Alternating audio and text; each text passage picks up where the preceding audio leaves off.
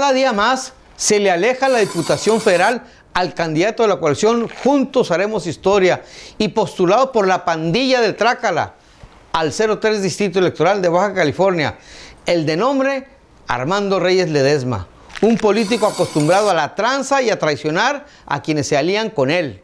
Y no puede ser para menos, ya que el negro historial del político aludido le precede y su pésima fama como persona sin escrúpulos, principios ni valores éticos es tan ampliamente conocida que su postulación sigue siendo rechazada por los militantes de los otros partidos políticos coligados, Morena y el PES. Muchos conocen perfectamente las francachelas y bacanales que Armando Reyes acostumbra con grandes excesos.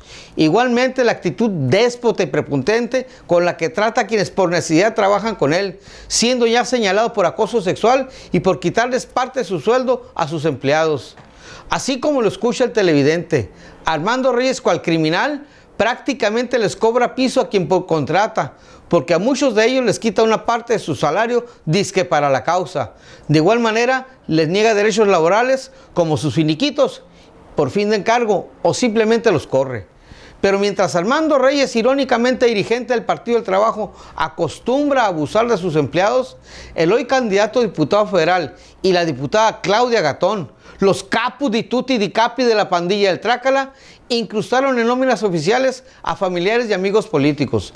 Así, hermanos, sobrinos, parientes políticos de Armando Reyes y Claudia Agatón, incluso el actual suplente de esta última y varios militantes del PT cobran o han cobrado, y muy bien, en el Congreso Estatal, en la Auditoría Superior del Estado, en Derechos Humanos y en Sindicatura de Ensenada.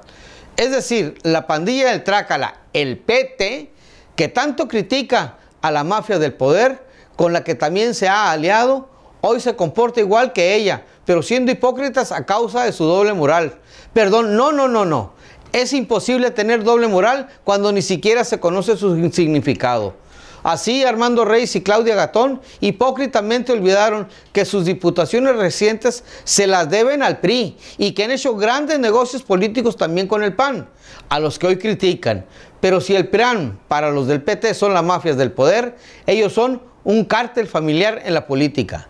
Los ciudadanos con tres dedos de frente que se dedican a trabajar y viven con honestidad, tanto dentro de la Alianza Juntos Haremos Historia como ciudadanos comunes, ante tan delincuencial candidato, ya decidieron. Y por eso Armando Reyes no será diputado federal, se le cayó el cantón.